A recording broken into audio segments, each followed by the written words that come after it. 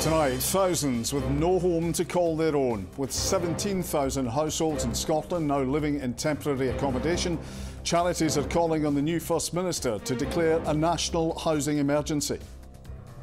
We've got record numbers of kids in temporary accommodation, private rents are out of control, and this is reflective of a national housing emergency.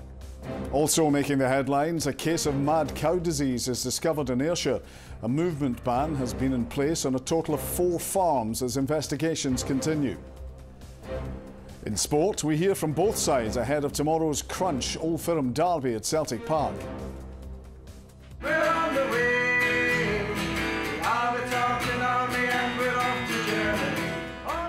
And the barber and client teaming up to support Scotland at the Euros.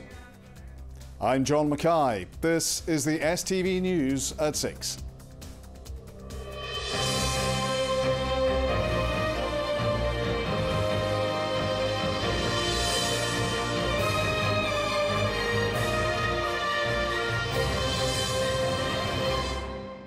Good evening. Scotland's national badge of shame. That's how homeless organisations have described the number of people living in temporary accommodation. Exclusive STV News figures reveal almost 17,000 households in Scotland are living in a home they can't call their own. Charities are calling on the new First Minister to declare a national housing emergency. The Housing Minister says nearly £600 million will be invested in affordable housing over the next two years. Vanessa Taff has been speaking to one woman who's caught in the system. We've changed her voice to protect her identity. This is the mattresses we are plastic mattresses for two years we're sleeping on. As you can see, it's not that great. This was only meant to be a temporary home for Chloe and her three children. But two years on from the marriage breakdown that left her homeless, she's still no further forward to getting a permanent place to live. It's hard because I get the kids and they keep asking when we get a house, when we get a house, and we're overcrowded. There's four us in the house and there's only two bedrooms. We've got two wardrobes to share between four. We've got plastic beds we're lying on. I'm not allowed to change the furniture because it's theirs. I went, well, you're leaving me here two years, so I've got to try and make it kind of homey for me and the kids. To make matters worse, there are extensive problems with mould and damp in the flat. It's having an impact on Chloe's young son's health. He started to not eat food. He's really struggling with depression and that because of the state of the house. His asthma is really, really bad. We're sleeping in a damp room. You could touch the bedding and you feel the damp off the bedding. I've got to constantly wash and dry all our clothes before they wear them. But he's got to the stage he's eating a wee bit, but not as much as we're expecting him to eat. And how worried are you about him? I'm really worried. The whole family's worried about him. And Chloe isn't the only one waiting for a permanent home in Glasgow. Over the last two years, the number of households in temporary accommodation here has risen by 20%. In Falkirk, there's been a 47% increase. Fife, who have declared a housing emergency, have experienced a 25% increase. And in Edinburgh, there are almost 5,000 households in temporary accommodation, which is the worst of all council areas. These are terrible figures. They're deeply worrying and they're indicative of a bigger problem. It's not just these local authorities that are struggling. All local authorities, to a certain extent, are struggling. They're, they're trying to do more with less against a backdrop where we've got record numbers of kids in temporary accommodation, private rents are out of control. And this is reflective of a national housing emergency. And that's why we're urging Mr Swinney, as our new First Minister, to declare a housing emergency. In Edinburgh, those dealing with the acuteness of the homeless situation want urgent political action and a reversal of the almost £200 million of budget cuts. We are stuck in a really terrible stalemate where the need for temporary accommodation and the spend on that is so high that we're unable to free up the money that we really need for affordable housing. There needs to be a bigger injection of money or a better use of the money in order to break that stalemate. Housing is the heart of our economy, it's the heart of how people stay healthy, it's the heart of strong communities. They cannot avoid the fact that we have a housing emergency and they need to get more money in there. They made a political choice to cut 200 million out of it. They put a little bit back, but we need more. Glasgow's Health and Social Care Partnership told us they're aware of Chloe's circumstances and have tried to access the property to carry out repairs. They added that demand right now for housing far outstrips supply. An end to this temporary living situation for Chloe seems a long, long way off. Vanessa Taff, STV News. The First Minister, John Swinney, chaired his first cabinet meeting this morning since taking up the position. He then embarked on a three stop tour of the country, taking in a visit to a hospital, a railway station, and a farm. His deputy, Kate Forbes, has also been officially sworn in at the Court of Session in Edinburgh. Our political correspondent, Ewan Petrie, reports. Two days after being appointed, John Swinney's cabinet gathered for the first time this morning in Bute House.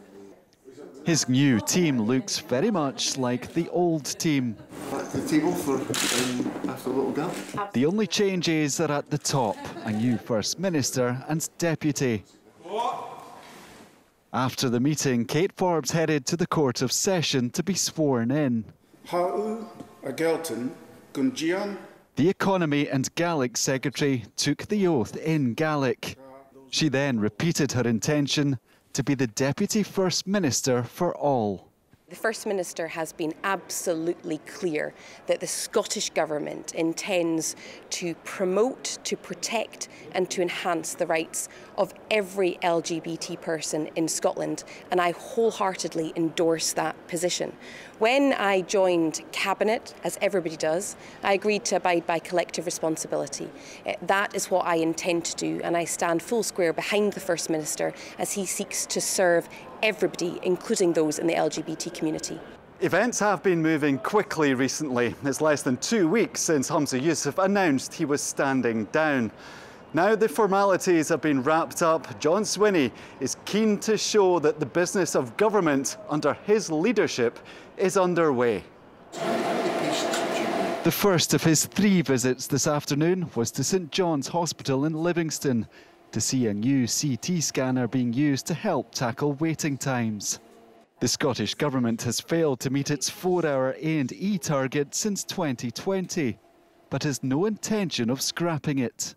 That's our target, and I'll keep that target, and we'll keep focused on that target to make sure we can deliver.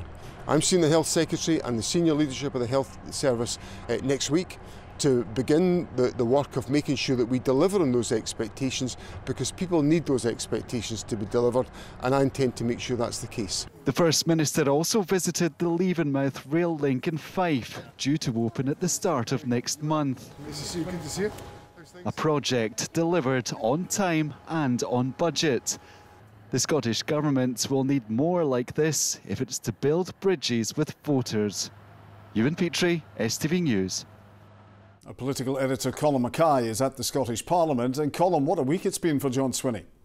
What an incredible couple of weeks it's been in Scottish politics. I don't think I've ever seen quite so much move quite so quickly. John Swinney's only been First Minister for a couple of days and he does seem to be already calming things down a little. But just to raise the temperature again tonight, there's a warning from Unison that their members in local government could be about to ballot for strike action. That would be the third time in a row. The last time they closed schools, the time before that, the bins went unemptied. COSLA leaders are hitting out at the unions for going public too early in the whole pay talks process. So I asked the First Minister if he was going to have to step in.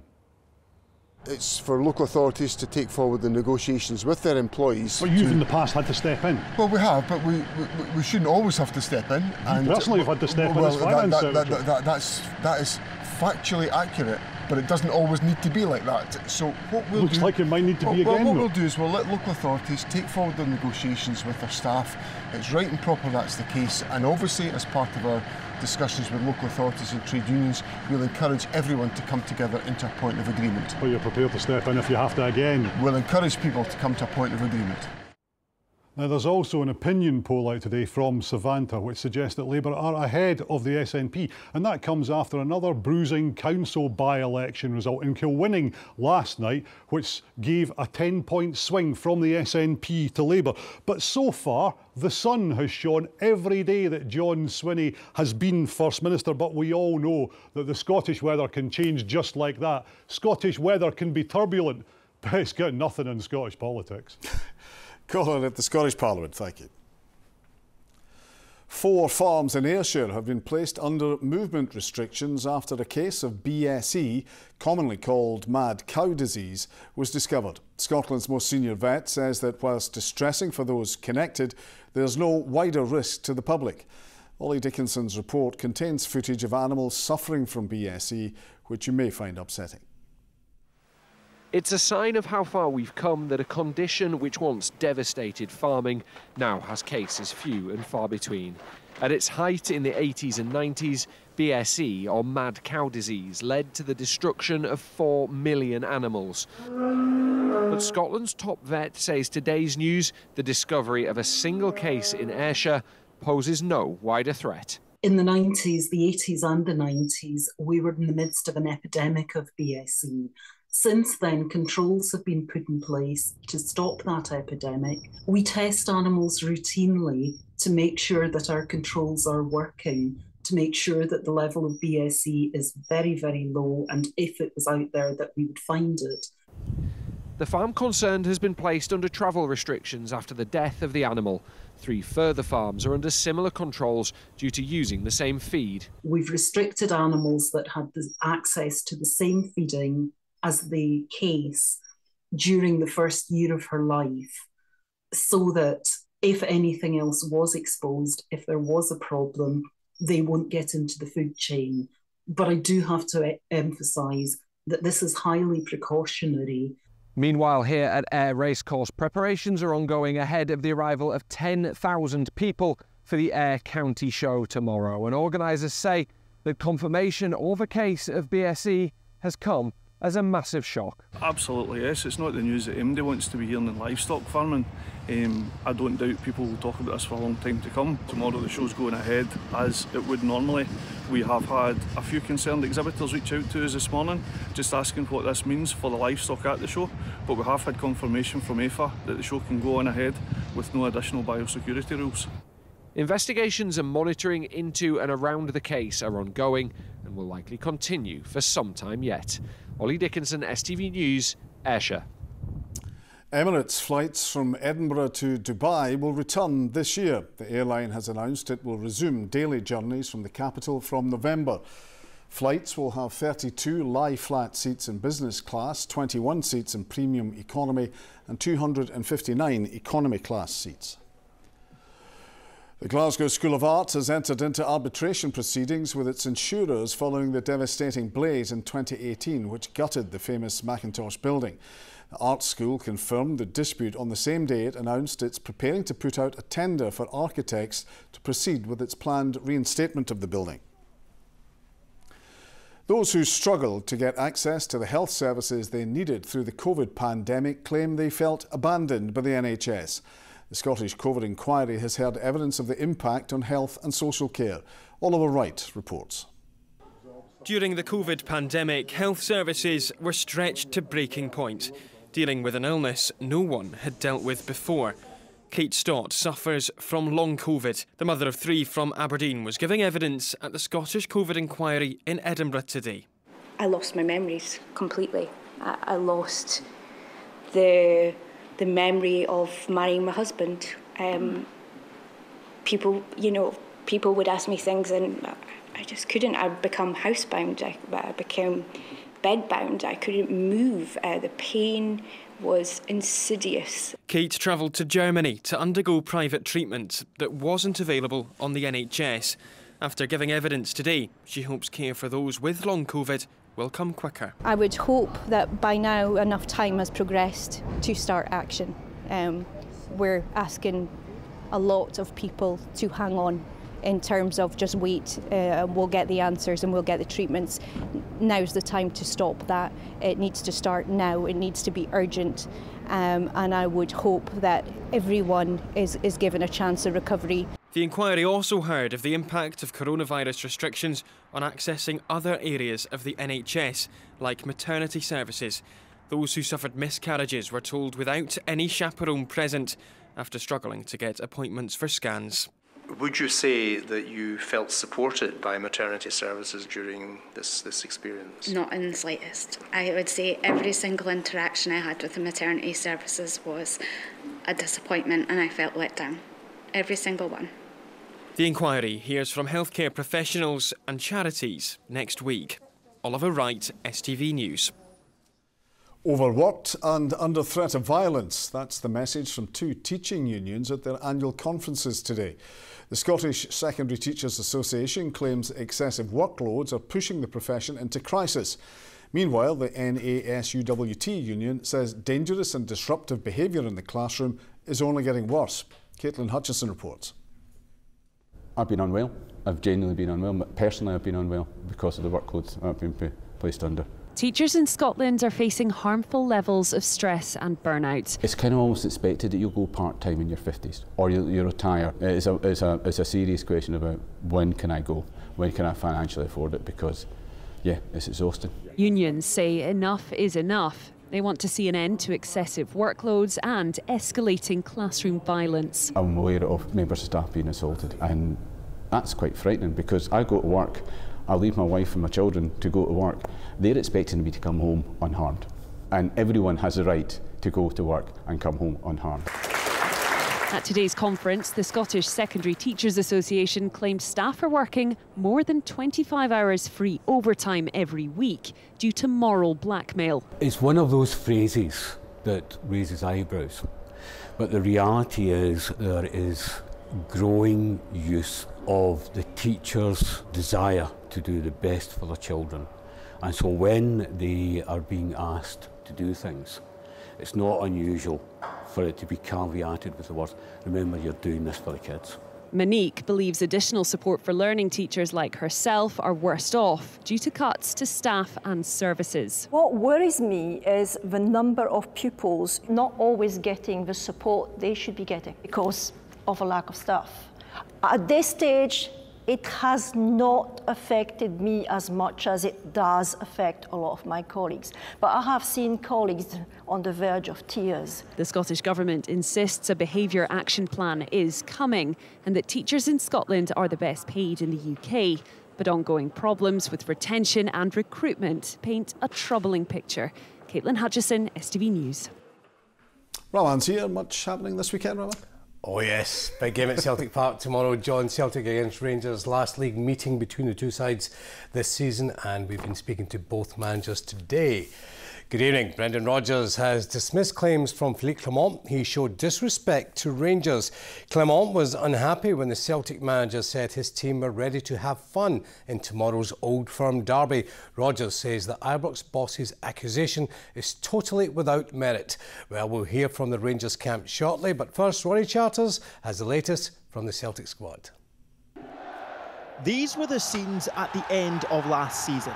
Celtic once again lifting the Premiership title. Now, as the champions get set to walk out at Parkhead tomorrow against their fierce rivals, the match will be pivotal and where the trophy resides come the end of the season.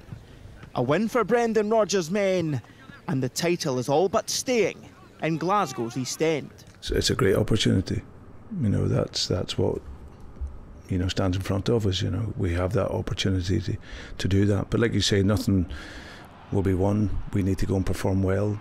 We need to work hard. We need to be intense, and uh, we need to ensure that our, our game is at a good level. Do you agree this is an almighty chance to more or less wrap up the title on Saturday?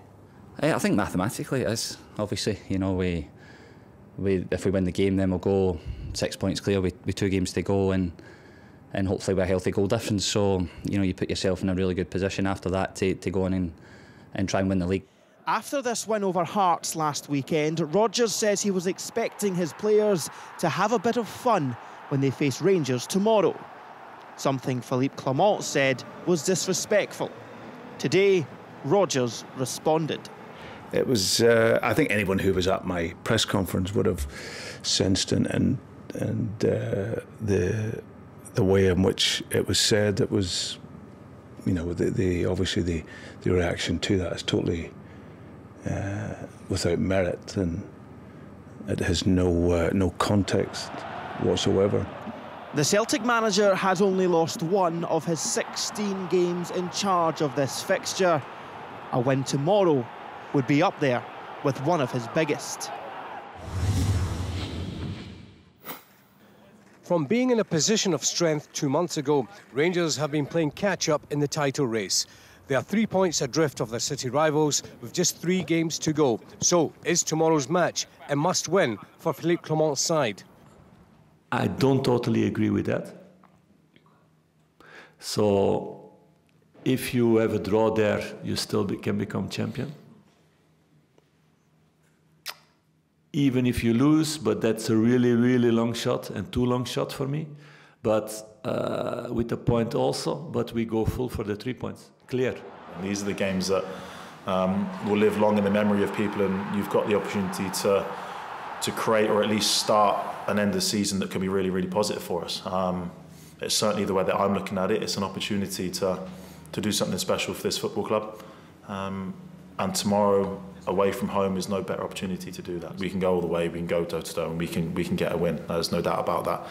Rangers' last win at the home of their rivals was almost four years ago.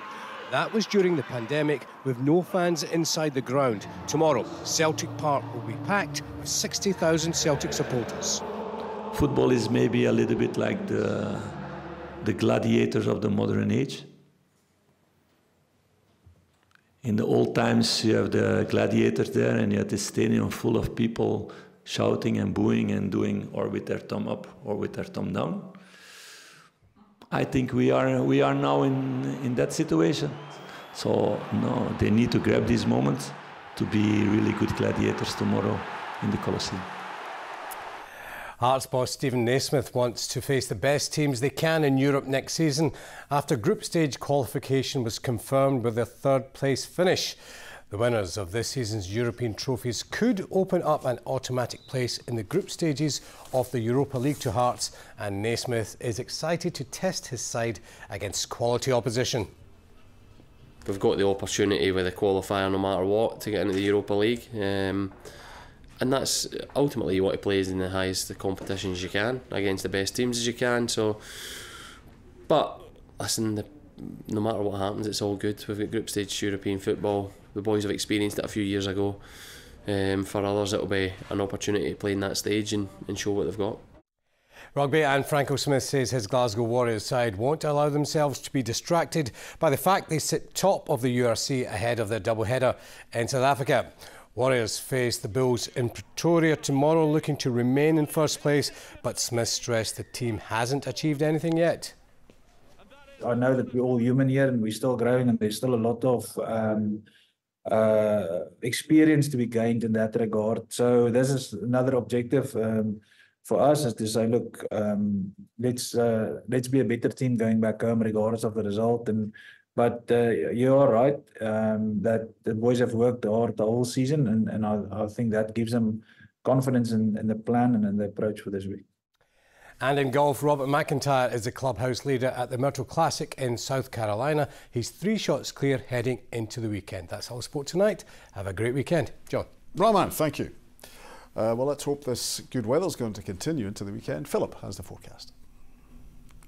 Hello, good evening. Well, over the past couple of days, high pressure has been dominating our weather, putting us into a southerly airflow. We've been dragging in that warmer air. That's been lifting the temperatures. Tomorrow, those will be at their peak, reaching highs of 24 degrees Celsius for the likes of Al Nahara. At the moment, the forecast for Barcelona is highs of 21. So we can say that it's looking like we'll be warmer than Barcelona. I'm going to put my weatherman hat on here and just remind folks about the UV levels. They will be rising to moderate to high given the amount of sunshine. So if you are heading out and about, do take the proper precautions. Let's take a look at what's in store over the weekend. Here is the forecast. A spell of wows will gradually settle into a scattering of traditional tapas. TUI sponsors STV Weather. Well, with all the excitement around the fine, dry and bright conditions today and tomorrow, we need to remember that unfortunately it's not lasting long. I know, I'm sorry, but come Sunday, things are turning unsettled once again. We've got these frontal systems moving in from the west, bringing with it bands of showers, and it will remain changeable as we head into Monday and into Tuesday. Back to just now though, and it's a lovely end to the day for many of us. A largely dry evening and overnight period with plenty of clear skies. We could just see a bit of low cloud mist and murk around the very far west. Normally with clear skies, it does lead to a chilly night, but because we've seen a lot of sunshine this afternoon, temperatures aren't dropping too far, lows of around 12 or 13 degrees Celsius. There's been a lot of solar activity over the past 24 hours as well, so Given the clear skies tonight, there's a very high chance of catching sight of the northern lights. Looking ahead to tomorrow, a fine, dry and bright start to the day. Lots of sunshine through the course of the afternoon. Later on in the day, though, that could spark off one or two very isolated, heavy, possibly thundery showers moving in from the south. But you need to be very unlucky to catch one. Temperature-wise, tomorrow reaching highs of 23 degrees Celsius. Looking ahead to Sunday, like I said, turning unsettled once again. These fronts move in from the west. More showers around. Temperatures down a degree or two with highs of 19. Bye-bye. TUI sponsors STV Weather. And finally, he went in for a haircut and came out with plans for a song, and not just any song. Along with his barber, Alan McNeil has recorded a football anthem ahead of the Euros, appropriately named We're On Our Way. Amy Flett has more. With less than a month to go until the Euros, this unlikely pair have turned to music to cheer on the Scotland team. They've recorded their own anthem with all donations going to charity. In bulk of it was about two o'clock in the morning one night when I couldn't sleep, and you get your phone out and you're scrolling through aimlessly, and then you think, I'll try and put a few lyrics together, and that's where it that's where it was born. So I came from my monthly haircut in January, and John played me a pretty rough cut of the song he'd written for Scotland going to the Euros. And I said to him, I happen to know somebody who knows somebody with a studio, and if you were willing to help Prostate Scotland, then we can put you in touch with the studio. So, what do people make of the song? Very catchy. Very I can Scottish. Hear myself singing along I to can it. hear my dad singing. We're on our way. Oh, I picked it up already. She's already got it. That's really good, actually. It's very I like it, football-esque. yeah. Yum, yum, yum. yum, yum, yum, yum. So is that going to be stuck in your head now all day? It yes, will. it will be. Yeah, Yeah, I thanks for so. that. Train home, like. Alan and John are now planning a music video and want Scotland supporters to join them. Football legend Ally McCoist and a few other well-kent faces have already offered their support. The duo hope to release the music video in early June. Flett, STV News, South Queensferry.